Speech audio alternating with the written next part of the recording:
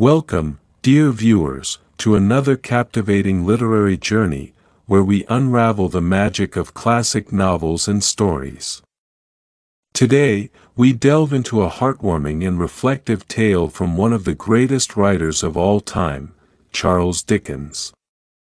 We'll explore The Poor Traveler, a short novella published in 1854 that blends social realism with an emotional narrative of kindness, redemption, and the human spirit. In typical Dickens fashion, this story is filled with rich characters, moral lessons, and a narrative that will leave you with much to ponder. Over the next hour, we'll guide you through this remarkable work with careful attention to every detail, ensuring you leave with a thorough understanding of this Christmas classic. So, without further delay, let's embark on this unforgettable journey. Remember to like, subscribe, and share if you enjoy our deep dive into literature. Our story begins with the narrator, who we later recognize as Charles Dickens himself, taking us along his travels through the town of Rochester on Christmas Eve. Rochester, historic town famous for its cathedral and ancient structures, immediately evokes a sense of history and nostalgia. Dickens, who often used Rochester in his works, carefully sets the scene with descriptive prose, capturing the quiet beauty of a town blanketed in snow, the faint glow of candlelight spilling from windows, and the coziness that lies inside the doors of old inns and taverns. The narrator arrives at the Bull Inn, a place steeped in history. Dickens takes a moment to describe the inn's atmosphere, creating a sense of warmth and refuge from the cold winter evening outside. Inside, the innkeeper greets the narrator with a welcoming smile, offering him a hearty meal and a cozy bed for the night, even though he is described as a poor traveler. This moment is critical, as Dickens sets the tone for the novella's themes of charity, kindness, and the importance of human connection, especially during the holiday season. The narrator takes a seat by the fire, feeling a sense of peace wash over him. The contrast between the harsh cold outside and the warmth within the inn highlights the deeper message of the story, the need for shelter and comfort, not just in the physical sense but also in the emotional and spiritual.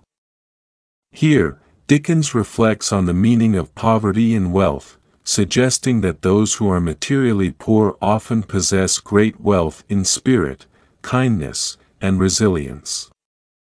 This is a recurrent theme in Dickens' works, where he often portrays the working class or destitute with nobility and integrity, as opposed to the moral emptiness of the wealthy elite. As the fire crackles and casts dancing shadows across the room, the narrator begins to recall the many faces he has seen on his journeys, faces etched with hardship, but also with hope and perseverance. This is a moment of introspection where Dickens explores the idea that every traveler, every person, carries their own burdens and stories, but it is through acts of kindness that they find solace. The peaceful silence of the inn is broken by a knock at the door.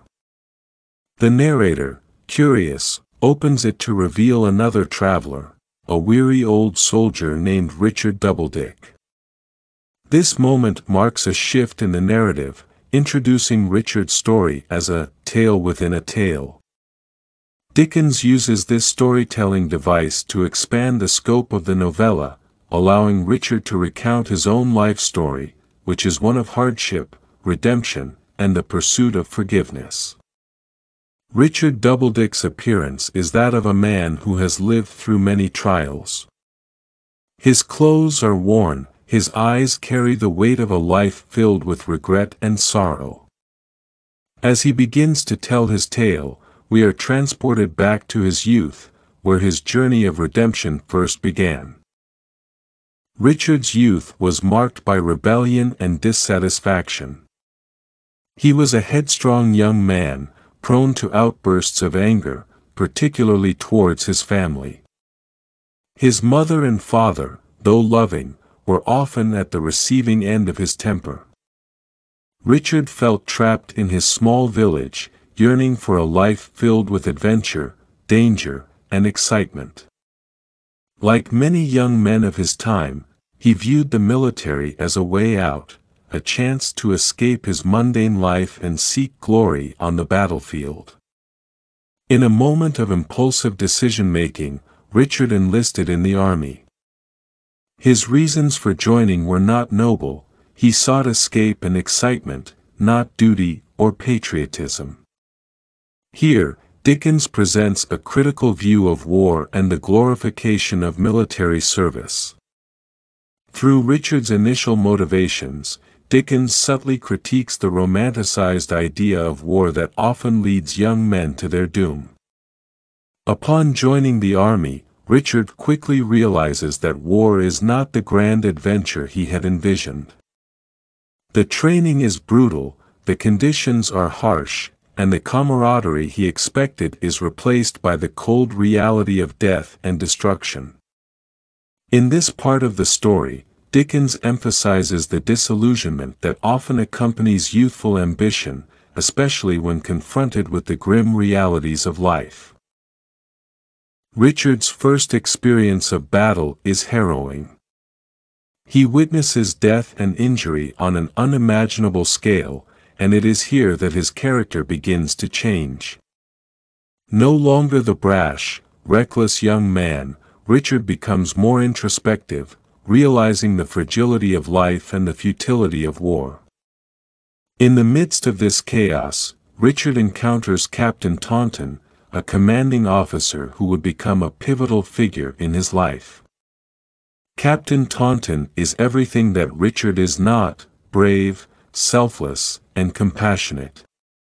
He is a man who leads by example, showing great care for his men, even in the darkest moments of war. Captain Taunton recognizes potential in Richard, despite his rough exterior, and takes him under his wing. The relationship between Richard and Captain Taunton is deeply significant, as it serves as the catalyst for Richard's transformation. Through Taunton's mentorship, Richard begins to learn the true meaning of honor, duty, and sacrifice. In quieter moments, away from the battlefield, Captain Taunton speaks to Richard about life, death, and the importance of living with integrity. These conversations leave a profound impact on Richard, who slowly starts to shed his selfishness and arrogance. Under Captain Taunton's guidance, Richard becomes a more thoughtful and conscientious soldier, developing a deep respect for his fellow men. The bond between Richard and Captain Taunton continues to grow as they fight side by side in battle after battle. But fate deals a cruel hand. During one particularly intense battle, Captain Taunton is mortally wounded.